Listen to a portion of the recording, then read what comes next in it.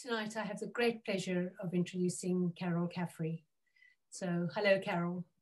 Hello, Marion, and thank you very much. It's it's lovely to be here and to be included among so many really extraordinary women. Well, I'm sure I describe and, myself. But... And and we we can't actually see you, but we know you're there. And oh. I, I think I think there are no, we can see you, but we can't see your audience. Oh, but, right, right, right. But a lovely audience of up to 100 people watching this right now, and there'll be others watching late, later on once it's um, videoed. So welcome to you all. I just need to say one or two um, housekeeping things. Uh, Natalie is in the background, um, um, masterminding all the technology, and she's going to switch off the chat function um, so that when people make comments, it doesn't interrupt the flow up here. Um, but then at the end, it'll come on again. So if you've got any um, any questions, any comments, particularly questions for Carol, that will be lovely to have them, and we'll leave time for them at the end. So uh, save, save your thoughts. And when we're coming near the end, please ask questions and we'd love to make it a broader conversation. So first of all, to introduce Carol. Carol um, has become my friend in the four years since we met. Um, but I remember very vividly the, the first time we met, I saw her on stage. This was in Much Wenlock in Shropshire, um, where there is a poetry festival it was going for seven years, and unfortunately, that was the last year when I was really lucky to catch it. And on the first night, they had a, a big lineup of really well known poets reading their poetry and, and to a packed auditorium. And then they had a few local poets as well, and Carol was one of those. And I sat there in the audience, not knowing a single person, either, either in the audience or on stage, and I listened. And um, it was interesting. Every poet was interesting. And but what really touched me was Carol's reading. So afterwards, I went looking for her and boldly introduced myself and said I'd really liked her poem. And then she kindly came to my session that I was doing, which was about the Urdu poetry in, in Uncertain Light. And from there, we got to know each other. So um, she has the highest recommendation from me as a poet. She was really the outstanding person that evening, even though the others were well-known poets, prize-winning poets. And at that stage, she wasn't a published poet in the sense she had had a lot of poems published individually, but not a book. And now, I'm delighted to say, she has a, a collection of her own poems published. So we'll hear about that later. So Carol, first of all, you, why don't you um, say something about uh, that event in Wenlock. It was quite a big event for you, wasn't it?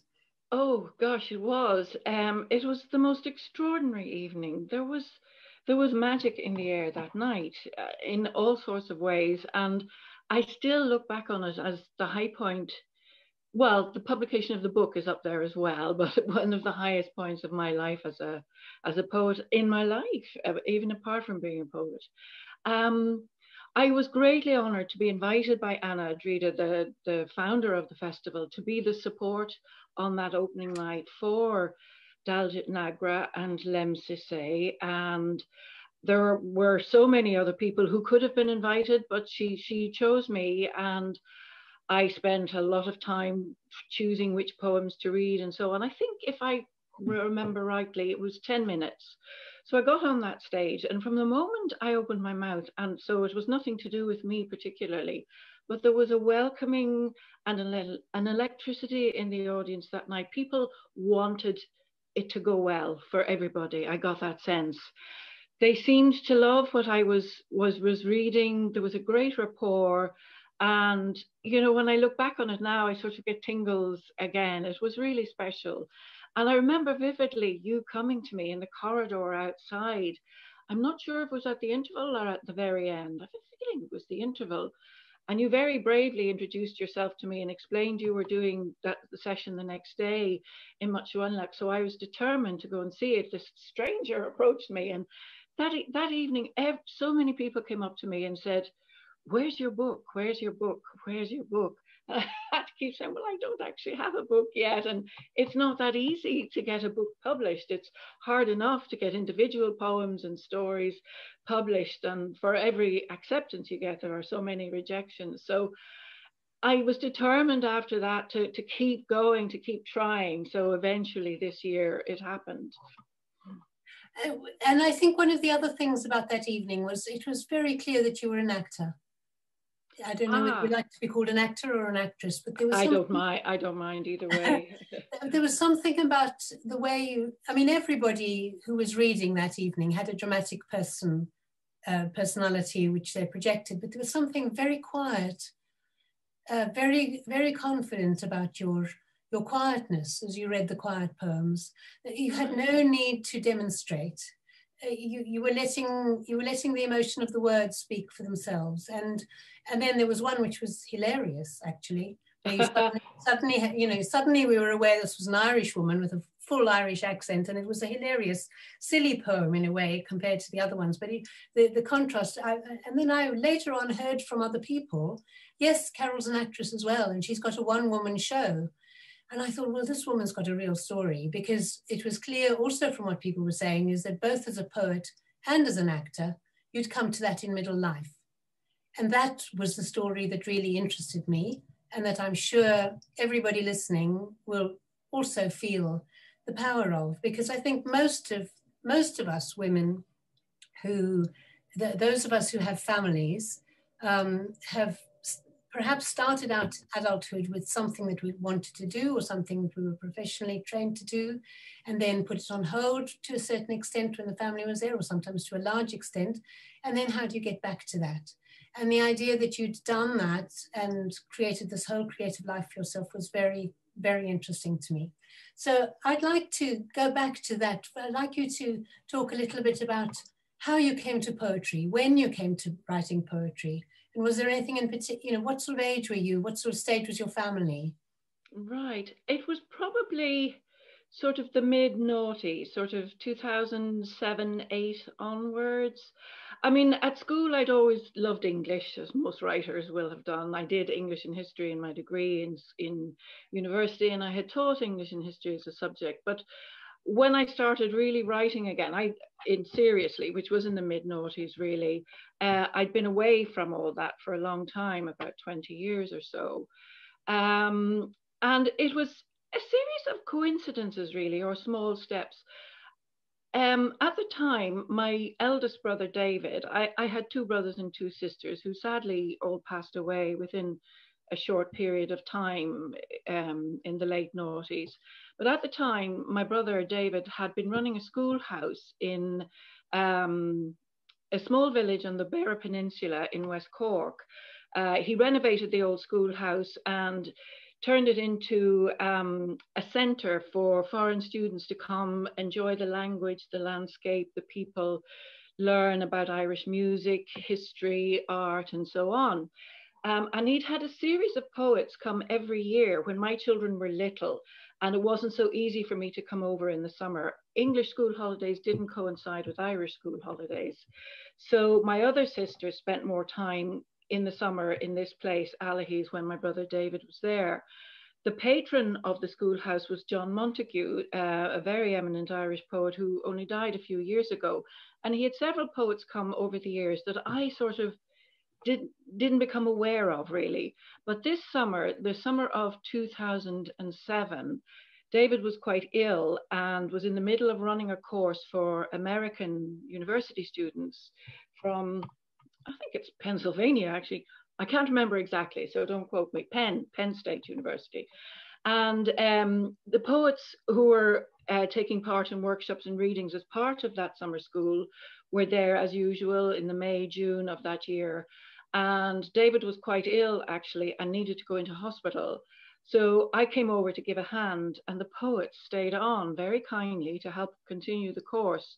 And those poets were Paula Meehan, who wrote the play Music for Dogs, and Theo Dorgan, her partner, both very well respected poets. And um, so I got to know them. I made sure I came the next few years. David sadly died that summer. Um, but Trish, his wife, who'd been very ill herself for a year after a brain aneurysm, kept the school going in the summer months for French students who came in July, teenagers, and the American university students in May and June. So, and the Paula, Meehan, and Theo Dorgan, and Tony Curtis, a third poet, wonderful poet, would come every year. Um, so I got to listen to a lot more poetry. Went to their workshops that they did for the students, to the readings that they gave for everybody in the village. Um, so poetry was was becoming more a part of my life. And at the same time, um, Liz Lefroy, who is a very good poet here in Shrewsbury, who's a friend, uh, started a monthly poetry event where she invited guests to read and opened out the evening to open micers. Um, and at the same time, of course, the Wenlock Poetry Festival was going on, which was founded by Anna Dreda. And the patron of that was Carol Duffy, who used to come every year, most years certainly, to give readings. So we got all these wonderful poets coming to Much Wenlock. Liz started her event, and I remember reading a poem for the first time at one of her open mics. I had never, ever done anything like that. But because it was a small, informal, very welcoming situation, I felt able to do it. Um, and it probably was another four or five months before I read again, did another maybe two poems, something like that. So all of this was going on at the same time as very difficult family things were happening with my brothers becoming ill and my sisters eventually. It's all a very complicated story. But between 2007 and 2011, David and Peter died July and the end of the year in 2007. Then Sheila and Linda died between the summer and December of 2011. And I think, like most people, when you have profound loss, which this was, um, you look for ways to deal with it or to explain it or to get through it in some way or even just to escape it. So, kind of, it was really all of those things. I'd always dabbled in writing and I had done the odd course off and on and had wanted to be a writer, but never done enough specifically and purposefully about it until then. I started to write poetry at first about my family um, as a way of just unloading some of the awful grief and, and sadness. And I'm sure people are aware that during this pandemic, people have turned to poetry an awful lot. There is something in it that connects with our most basic emotions, our most basic primeval needs almost. So I started experimenting with a few really just privately for myself. And then um, I got a little bit more confidence reading at, at, at the poetry open mic in Shrewsbury Poetry. Um, and then there seemed to be a burgeoning after that within the whole area of Shropshire that you have remarked on, um, Marion, that there, another monthly event started in just over the border in Wales, another one an hour down the road that way. There seemed to be about four or five monthly events of poetry readings, um, and all of them had open mic opportunities. So you began to get a little bit of a circuit going, um, and you might be sure of five minutes here or 10 minutes there, and so on. But certainly, a big breakthrough for me was being invited by Anne at that time to, to support the headliners at Much Wenlock. And then I started to get a few guest slots and so on. And, and you start, I kept submitting and you start to get some acceptances, which are great, it give you a sense of validation. And because there are times when you get another rejection, say, oh no, am I fooling myself altogether? And why do I bother? But partly, it for me, as a way out of the family situation or a way of dealing with it, um, it was a lifesaver, absolute emotional, mental lifesaver really. Well, I, I, think one of the one of the things about that poem that I heard you read in in Much Wenlock, I think it was one of the ones about your sister, um, remembering her or mm. or feeling the loss. But it's so delicately done. I'm getting goosebumps now as I think about it, because there's there's nothing there's nothing overly over the top emotional or dramatic about the way you you you have dealt with it in poetry you've captured very delicate moments very very ten, tender feelings and um, and you share them. And I think it's a it's a it's a wonderful thing and this book is full of them. So um, uh, Natalie's giving you the details of where you can get hold of this afterwards. It's a it's a they call it a pamphlet rather yes a pamphlet or a chapbook. It's a, half a collection because it's small because yeah. poetry's small. But when when carol says that she was submitting she was sending in particular poems or short pieces of prose to journals which publish poetry. It's you know i'm i'm i'm a published novelist but it's been a real struggle to to get there. And that's partly what my my book journeys without a map is about is about that struggle. But for a poet to be published is you know there's very little market in poetry. Very few people buy poetry books. Mm. um, and and i think there's something special about you know it, most people are introduced to poetry at school but i think probably quite a small proportion of people carry on reading it for pleasure as adults and mm. I think what's so lovely about Carol's story is that it was live poetry that, that brought it back to her. It was hearing. It was a spoken word. And if, you know, in cultures that I've been in touch with where poetry is very powerful, it's oral poetry, it's spoken poetry. One of my novels is, uh, is set among Somali refugees, and the Somalis have a fantastic um, repertoire of oral poetry, which people memorize just from listening to it recited a couple of times and then Urdu and Persian do as well. And these are oral cultures. So I think what's beginning to happen in Britain is poetry is becoming oral again. It's becoming spoken.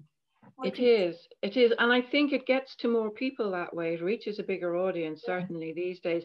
I mean, in Ireland, we have the tradition of the Seanchaí, uh, which is like the storyteller sitting around the fire. And, and our tradition goes back to a very oral a tradition as well from um, Middle Ages or something. So, yes, uh, I think a, a poem that's read aloud or spoken aloud is very different to one that you read yes. just to yourself silently, internally on yes. a page. Yes absolutely and it's mm. it's sometimes quite hard to take in because it's moving it's like music it's moving past you mm. and you can't stop it sometimes mm. you want to mm. go and read it afterwards it's nice to mm. have both but i think uh, and because you because you're an actor you you you're used to using words in a way where people are going to respond to the spoken word and i think it, it, all blends together so tell us a little bit about where the acting comes in in your life where did that uh, start uh. Oh gosh, I think acting, uh, probably whole creative life, but certainly acting is a bug that you are born with. It's in your blood, and it can be a wonderful thing, and it can be a bloody awful disease. Um, I should say, I I always loved. There's a bit. I'm I'm I'm actually a very shy person, and in social situations, I'm very awkward, and I'm not great at small talk and so on. But hidden beneath all of that is a show off. I think you need to show off to want to be an actor.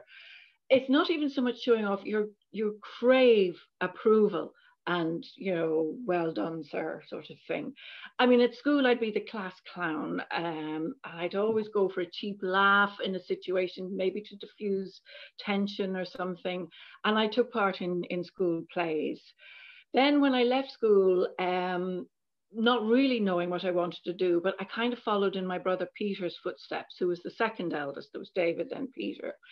Um, and Peter had been to UCD and had been very active in the DRAMSOC, Drama Society there. So I basically wanted to go to university to join DRAMSOC. Um, and if at the end of it I ended up as a teacher, fine, you know, I could make decisions later. So I went to UCD, and for the first year, I was auditioning for plays. There's Carol, can I stop you? That's University College Dublin. Sorry, University College Dublin. Thank you. Yes, forgot where I was for a minute. um, yeah, I auditioned. I didn't say I was Peter Caffrey's sister because Peter would have left a couple of years before that, but he was still well remembered because he'd been huge star in in DRAMSOC. Um, and I got parts sort of on my own, really, without trading on the family name. Um, and so I've always loved it, and I, I did a lot of it in university, and they probably were the happiest days of my life. They were great, carefree years. Didn't do an awful lot of studying, um, and for a few years after graduating, I, I taught in Nigeria for a year. I did English language teaching in France for a year because my brother David was there. I did sub teaching back home in Dublin, but all the while I still was looking to see what was happening on the acting scene. How can I break into it, and so on. Uh, Peter by then had established was beginning to establish a very successful career himself, um, And I kept on him, come on, Pete, bit of nepotism here, bit of nepotism, do something for me, you know. And the bugger never did really. But I, he was so easygoing, Peter. You know, he'd be busy all the time. He was in London a lot of the time. But anyway, things happen, you know, by accident, I think. Most life is an accident. I was in um I got a part I got a, a gig as an extra in Amadeus in the Gate Theatre in Dublin. Uh, Peter had one of the small parts in it, and they were looking for extras, and he told me about it, so I was an extra.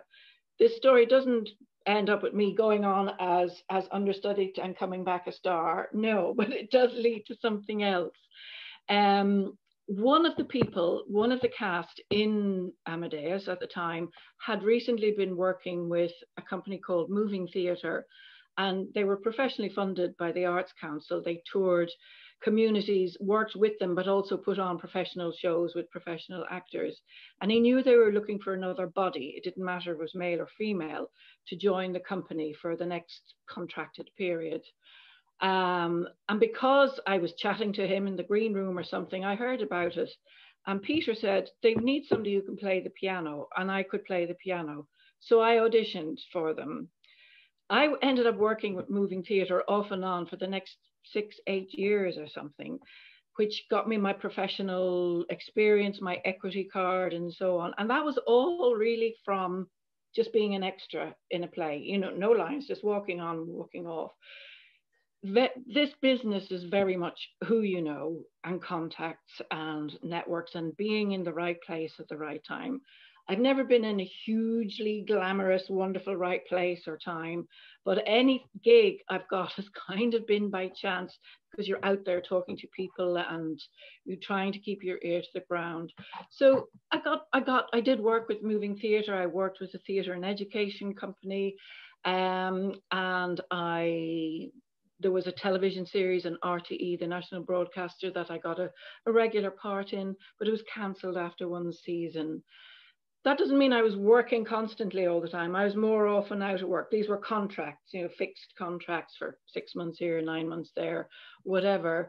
And in the for the fallow periods, Annie, who was the artistic director of Moving Theatre, and I, um, we worked well together, improvising and devising material for shows Moving Theatre did.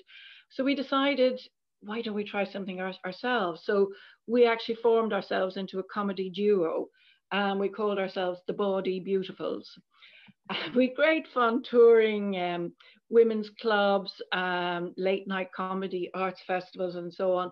But again, it would just be a few gigs a year. You couldn't live on it, you know, if you had no other sort of means of support.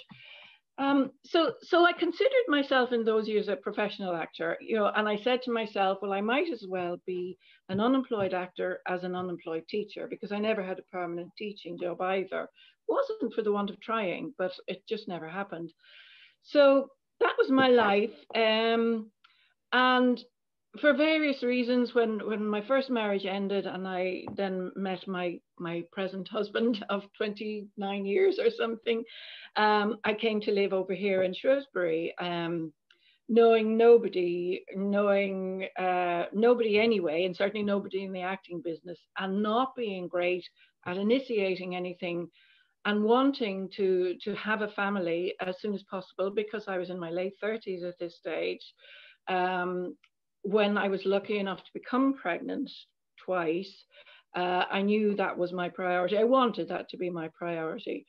But it doesn't mean that the disease in your blood has gone away. It just means you you try and keep it tamped down. I think that's um, such a familiar feeling for so many people. I mm. remember when when my oldest, I think it was my oldest daughter was born. Um, we were living in Zambia at the time. No, it must have been the second one. Uh, we were living in, the, in Zambia at the time, and there was a, a, a, a doctor who came on the rounds um, in this small cottage hospital where my child was born. And I heard her talking to other mums, and she was talking about her children, and I realized she had children of about eight or ten or something, and there she was, this professional doctor, and she was talking so lovingly about being a mum as well, and I thought, oh my God, it's possible. You know, the, the things that one's put on hold, one could possibly one day get back, back, to them. To. Mm. And I think it's it's really hard for people to hold on to that when they, you know, mm. when they are willingly, or in some cases not so willingly, um, prioritizing being there for their children in mm. those early years. But uh, and then and then of course it's so much harder to come back because because you've got all those gap years and you've lost confidence and you've lost the links and mm-hmm. things have changed and so on. We all know that. So mm. the real question, Carol, is how on earth did it happen that you did come back? Um, well, it was a question of survival, emotional and otherwise, I think, Marion. It was a question of having to, or realizing quite late in my life, actually, this, yes, is what I want to do. Um, like for those years between 2006, when David became ill and Sheila was diagnosed with cancer, to 2011, when Linda was the last to die, the whole focus obviously was on them and caring for them when I could, or being relief carer when their families needed a break and so on, because we were all scattered. Like Linda was in Manchester, Sheila was in Dublin, Peter ended up in Manchester, David was in Paris. So, and his wife was in a coma in Toulouse hospital for a lot of that, you know, until she came back. Peter was divorced, had no children, and had had a stroke at two in 2000. So he was aphasic and and hemiplegic. Um, so he needed a lot of care. Um, so everything was on the family, and then there was all the dealing with with the losses afterwards. And it was then when I, you know, as I described earlier, started writing and so on. And I realized that this is what was keeping me sane. This is what was keeping me going. So the writing certainly was the first route out of the depths of despair, but also um, the first forays into seeing how I could do this, you know, professionally. And I don't mean make money necessarily, though that would be nice, but but to be professional in how I how I approached it. And the acting was almost an accident. Again, you know, there are happy accidents in life. Um, I organized um, a fundraiser, like a, a, memorial, if you like, for Peter in Dublin um, in aid of the Irish Hospice Foundation. While he hadn't died in a hospice, my sister Sheila would, and my father had, and he got palliative care um, at the end of his life. And the hospice has always been very close to me. So um, we organised a fundraiser, and because P- Peter had been well known in theatre and film and television in Ireland, we were able to get a lot of names, if you like, to come along and perform. And those who couldn't wrote something for the programme, like people that he'd worked with in the early days who'd gone on to huge fame and fortune, like the Jim Sheridan and Gabriel Byrne and Liam Neeson. He started with all of those, and they wrote lovely things about him for the programme. So among all the, the guests from music, theatre, and film at this memorial night, which was to raise money for the hospice, Annie and I decided, um, why don't we do one of our old sketches from the Bawdy Beautifuls days? And said, yeah, why not? You know. So we resurrected one, one of the sketches oh, it was very funny, but it's it's very impolite. So I, even if I could remember any, I won't quote it here. But anyway, we did the sketch. It was just one sketch, like probably about two minutes in the middle of all this glittering night.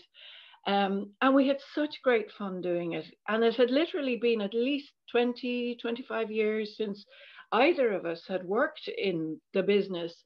Annie, in those years, like we'd lost touch for a number of years and then found each other by accident long before all this. Um, Annie had become a psychotherapist and was a practicing psychotherapist. Um, and that was how she made her living and how she lived her life. And I'd been a mother and then a teacher once the children went back to school part time and so on. Um, and it was like, I don't know, opening, dusting off the covers of an old book that had been buried somewhere in a deserted house to find, oh, like the secret garden, the secret gardening opening up. We had such a ball just doing those that sketch again. We said, let's work on something else. And she said, I'll direct it and you do it.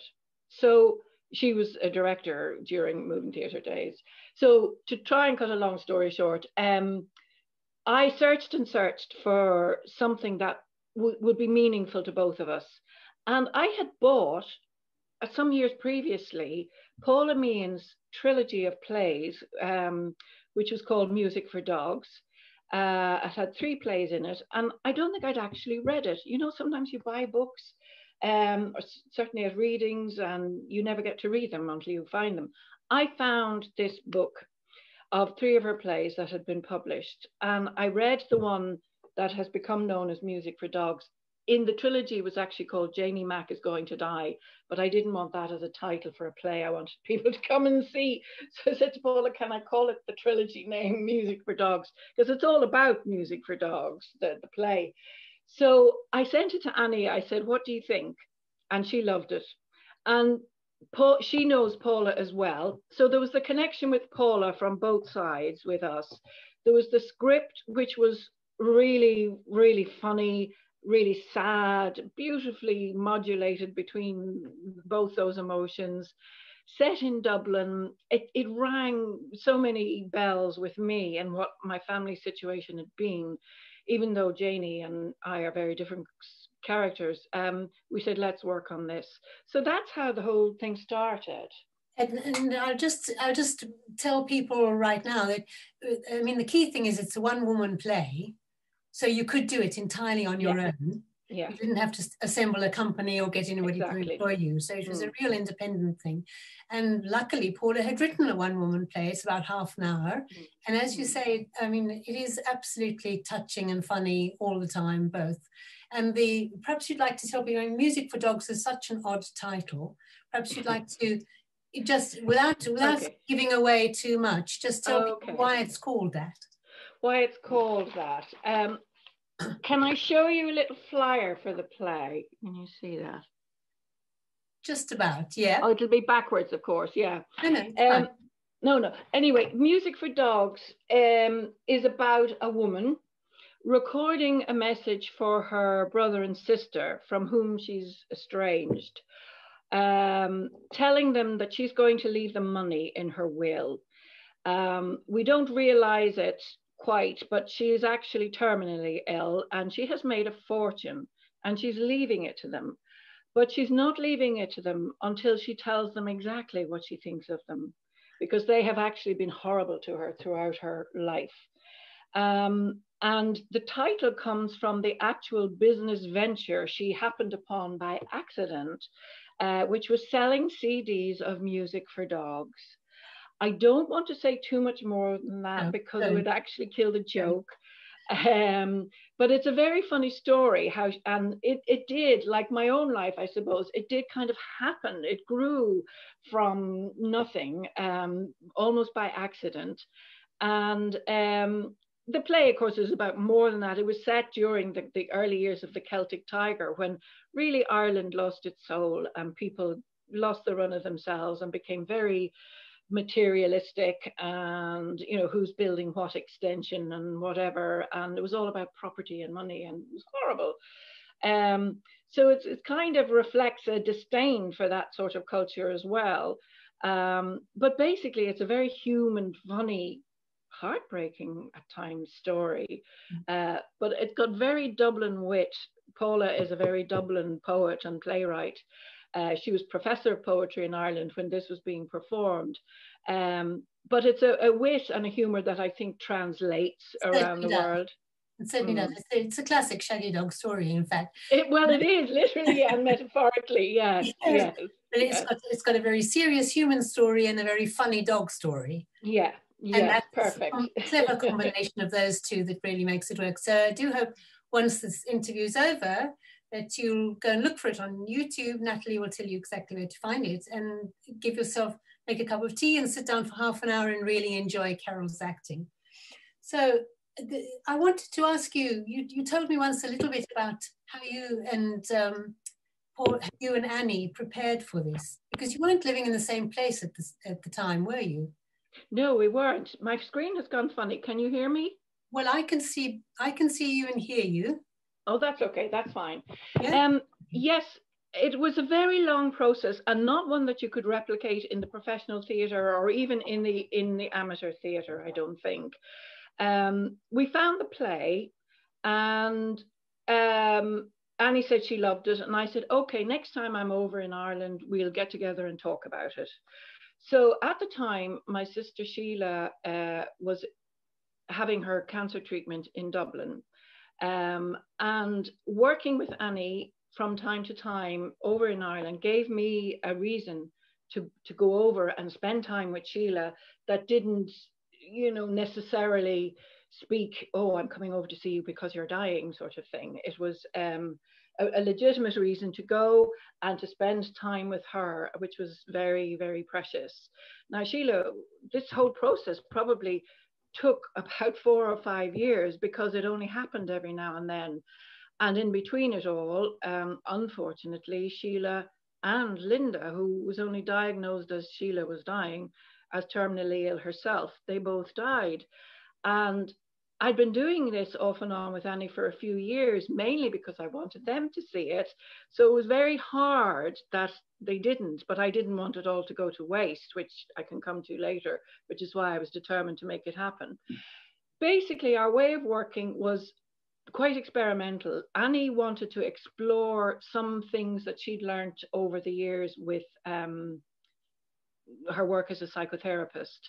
And we sat in Dub- in Terenure's Bushy Park, which was near where I lived. My my my family had lived, and where my my sister lived, sitting watching the ducks, um, and read through the script once just to time it. And that reading, just sitting there with no pauses or moving or anything, was about 25 minutes. So Annie said to me then, "I want you to put that away and not look at the script again." So I said, "Okay."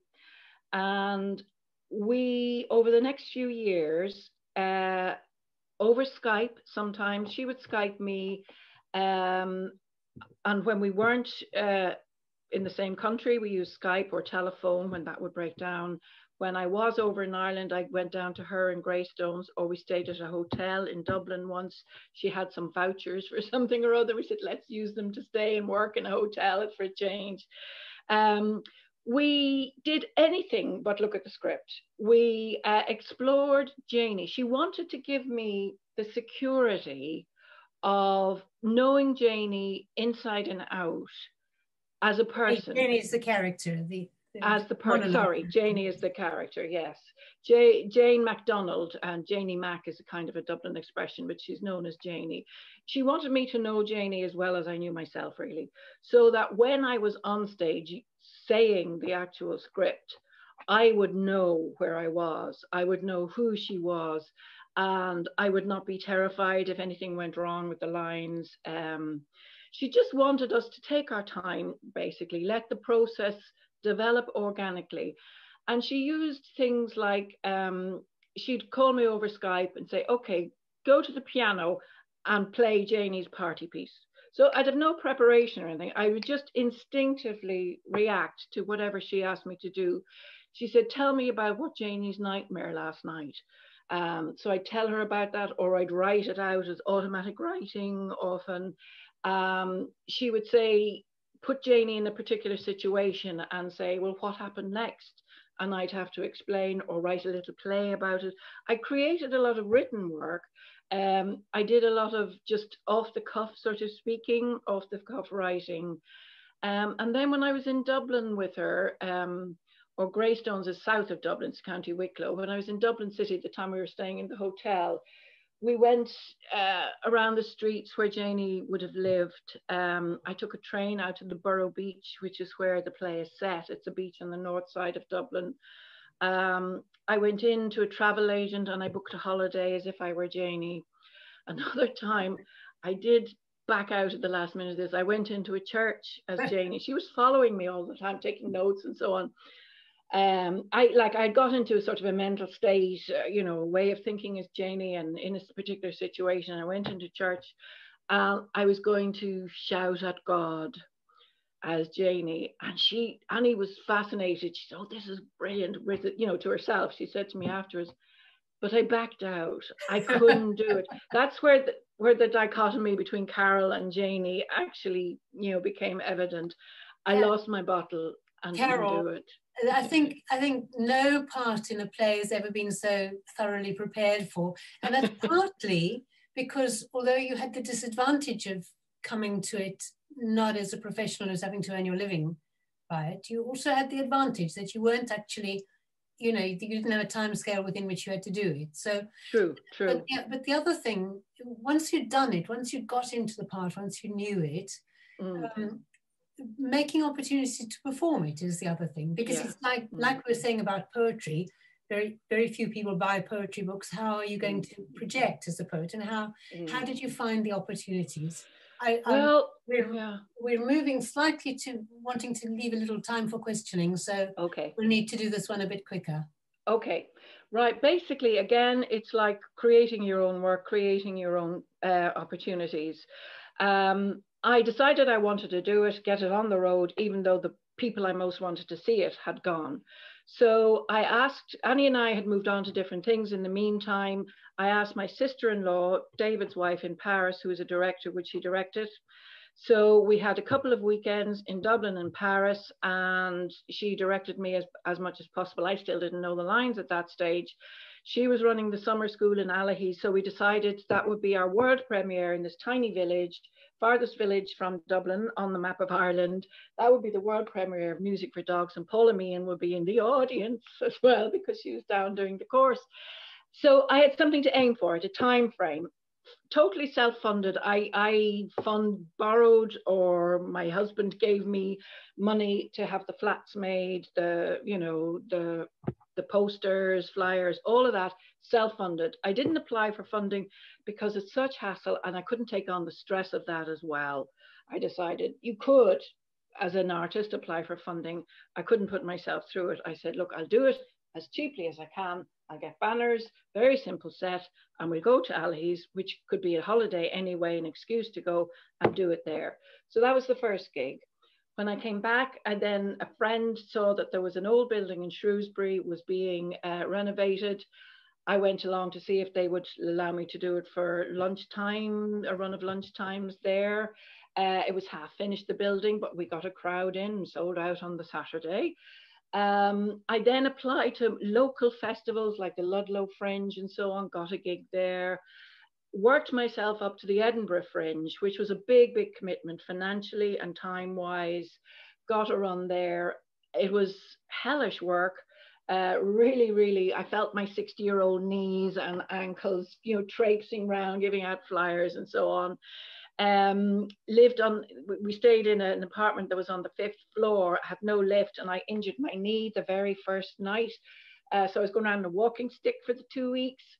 Got reviews though. I did it to get reviews, um, which I then could tack on to other approaches to other festivals that I did. Um, so it was a question of knocking on doors saying, you know, you have a festival on, this play would be perfect, this is it, this is what BBC Radio Scotland have said about it, and so on and so on. A lot of the time you don't hear back from them. Sometimes you do get a gig. Sometimes you create them yourself. Um, I've done it back in, in Allihies again. I've been to a lot of festivals around UK. I've still to do a proper Dublin performance.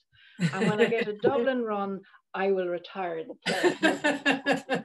well, I think it's a good point at which we we can pause for a moment and okay. see whether there are people with questions that they'd like to ask you. Um, and I hope there are. I hope there are, and I think there's this. Here comes, right. So, um, um, I'm looking at. I think these are things that have been put up by Natalie. And any questions from anybody? Now, Natalie, we need you in the background checking this out for me because I'm not sure. Okay. Uh, well, somebody's, okay, which is your greater love, poetry or acting? This is Jenny Lee asking you. I think now poetry, but if you'd asked me a few years ago, it would have been acting.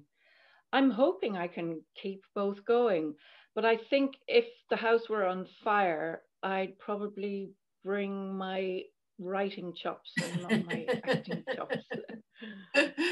but you, but you because you can still do that. I mean, if you can find a one-woman play and somebody to direct it and a few bob to get it on, that's fine. But you can still always write poetry. You just need a notebook and a pencil. Yes, and and and and people to listen. They both need people to listen, don't they? True. True. Yes, but you can. Mm. But I think it's, I think the story of what's happened in Shrewsbury and Shropshire generally is wonderful. That mm. lots of people have started writing poetry and been a supportive supportive group for each other and helped each other. Yes. It's very very uncompetitive, very supportive environment. I was it really is. I was really struck by it. Um, so Susan Truman is saying, "Are your children creative too?" Not in an obvious way yet. They're both they're 25 and 27 now, 28 nearly. Um, my son plays guitar, my daughter plays uh, piano. But as far as being extrovert with any of it, really not. Um, but it's early days, I think, in a strange way. I mean, I came quite late to to doing what I'm doing now. Mm-hmm. Um, but they're certainly appreciative of of the arts, I think, without necessarily being doers themselves. It's a whole lifetime story of how how anybody mm. gets into it, isn't it? So yeah, yeah. Mm. And I, I I'm wondering um, if you look back, it's it's been about fifteen years, would you say?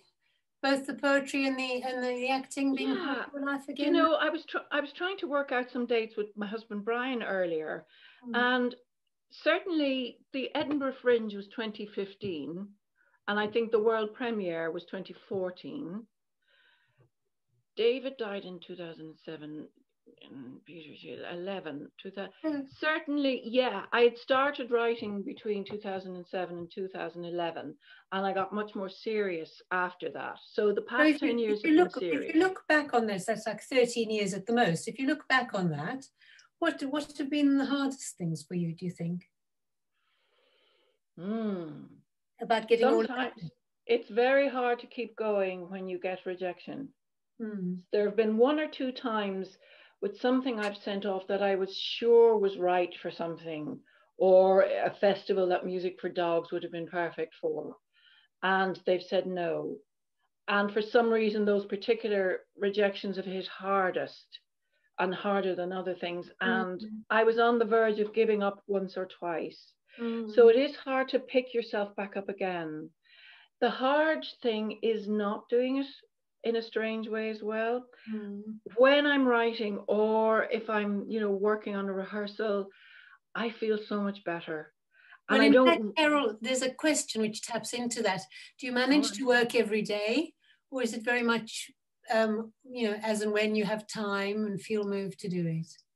I try and do something every day. Um, because it makes me feel better, I think, but also because I enjoy it. I'm very easily distracted um, you know, that quote from Harold Pinter is it, you know, the playwright suddenly struck by the absolute importance of going out and getting that light bulb, you know, anything to free yourself from the desk.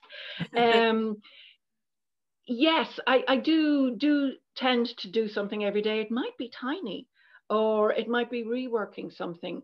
Um, and I'm I'm glad of an excuse sometimes to put it off but then I start feeling a certain malaise and, oh, you know, and then it's only afterwards I twig, it's because I've not been working on something. and suddenly you get energized again. So, so both for selfish reasons to feel better, but also for, you know, for good self-discipline, it's, it's good to try and do something every day, I think. And I think, so for me, certainly it helps to have the time of day when you do it. I, I work yeah. in the mornings. It's just my brain only works in the mornings. Actually, by the afternoons, is giving up. So it's no point. Me too. Yeah, me too. And it kind of works in our house. We have the the computer set up in the room opposite me here. The den we call it. it used to be the garage, and I tend to write on a computer, which really poetry should be written longhand, I'm told, but I tend to oh. write. and the mornings is free. Later in the day, my husband tends to be in there as he is now, you know, doing things with music and computers and or watching mm. football. So it suits our rhythms. But yeah, if I haven't worked in the morning or if there's something else in the morning distracting me, the day is lost. Well, that comes to another question. This one's from Sonia. How have you found lockdown? Sounds like you and Brian have found a way of using the house creatively? Well, to be honest, I have to say I am very, very lucky compared to so many other people. lockdown hasn't meant a huge difference to our lives. I'm not missing a lot of things that. But that, and that's partly the age we are, isn't it, Carol? It's partly the age we are that we live a quiet life, Brian. You know, we didn't do an awful lot of going out before this, so obviously that is gone. But there isn't enough of it to be a huge gap in our lives. I haven't been as creative as some people have been. It's been a process of shock and absorbing it and terror at the beginning and my god is this the end of the world to okay let's narrow things down and let's see how we get through what we can get through um, lots of people i know have written novels and got really fit and, and painted their house and you know i've just kind of paused and been almost paralyzed while I, I think that's very common. I think that's really very, very guilty common. about that. I wouldn't. I wouldn't. And you, I'm going to pause myself now because I think it would be really. There are a couple more questions, but I think it would be really lovely for people to hear you read one of your poems. Could you do that for us? Oh, right. Okay. Where did I put the book? Um, right. Um, we don't have much time, so choose a short one. I'll choose a very short one. It's called The Moorings, and it's the poem that gives the title to the book. The moorings. Before you read it, Carol, do you want to say anything about what it's about? Because sometimes that helps people listen. I, I think it's fairly self-evident, to be honest. Sometimes okay. things need an explanation. I don't think this one does. Okay. Some lives fall lightly on this earth, leaves on a summer breeze, dancing.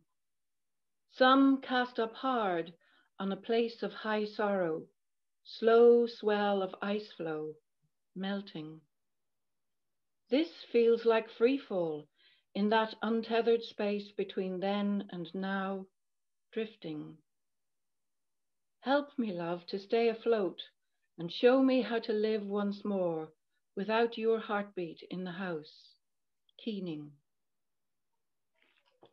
Now, Carol, in, in Urdu poetry, they have a tradition where they read it twice which I think is wonderful because the first time you're taking in something general about it, and the second time you can listen to the detail more. So if you can read it another time, we'd be grateful.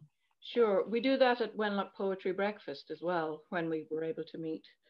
The moorings. Some lives fall lightly on this earth, leaves on a summer breeze, dancing. Some cast up hard on a place of high sorrow, slow swell of ice floe, melting. This feels like free fall in that untethered space between then and now, drifting. Help me, love, to stay afloat and show me how to live once more without your heartbeat in the house, keening. It's beautiful. I don't know if you're choking up, but I am. And I think that might be a good moment to stop. So, Carol, thank you so much. It's been really lovely to have you sharing your story. And um, for somebody who describes herself as shy, you've been extremely generous in talking about very personal things with us. And I'm sure a lot of people will be, will have been entertained and touched. And thank you so much. Thank you, Marion, for, for being a lovely uh, interviewer. And I do hope people go to the YouTube channel of, of the Register and watch the show. I do hope so. And also, um, Carol, um, uh, if somebody wants to comment or ask a question after seeing the show, is there a way they can do that, Carol? Yes, um, I'm not sure if Natalie has shared my email address, but I'll show it here. It's Music for Dogs one at gmail. Move it into the middle of the screen and we're in, move it down and into the middle of the screen, more to the more to your left and up. there we go. Uh, music for dogs one at gmail.com. Okay, so you can send if you'd like to say anything more to Carol after seeing the show, do send her an email there. I, I would love to hear from people and the, the publisher's website is 4word.org, the figure four. Um, but yes, I'd love if people have questions or or any reactions they'd like to let me know of. I'd be delighted to hear from you. I and thank you, Marion and Natalie and, and the Register for, for having me along. Well, it's been delightful. And I think one of the things you've you've really highlighted is that this distinction between professional and amateur is a nonsense. We mm. are creative people. Um, we are all creative in different ways, and we all have things within us that we can work on and find a way to express. And when we've shared it, we've been creative. Thank you very much. Thank you. Bye, everyone. Bye.